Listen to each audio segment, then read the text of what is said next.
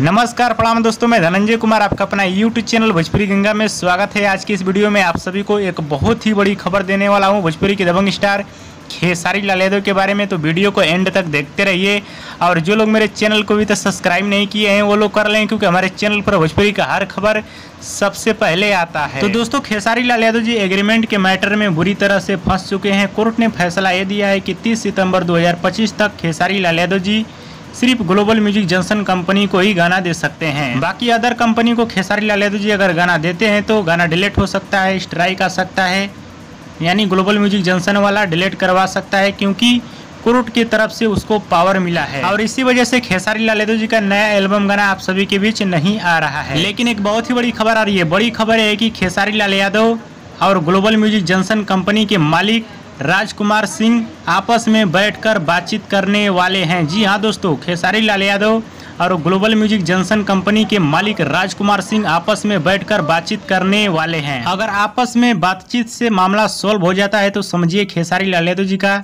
25 तारीख से गाना आना शुरू हो जाएगा आप सभी के बीच। अगर आपस में मामला सोल्व नहीं होता है बातचीत से तो समझिए खेसारी लाल यादव जी आगे वाला कोर्ट में जाने वाले हैं। बस लास्ट में आप सभी को एक बात बता देना चाहता हूँ, चौबीस तारीख को दो बजे के बाद आप सभी को एक बहुत ही बड़ी खबर देने वाला हूँ। जानकारी तो बहुत कुछ मिली है बट यहाँ पे शेयर कर देना सही नहीं है। हाँ तो दोस्तों भोजपुरी की दबंग स्टार खेसारी लाल यादव जी का बहुत ही बड़ा अपडेट आप सभी को कैसा लगा हमें नीचे कमेंट बॉक्स में ज़रूर बताइएगा। वीडियो पसंद है तो ज़्यादा ज़्यादा लाइक करे कमेंट करे। शेयर करें सब्सक्राइब करें धन्यवाद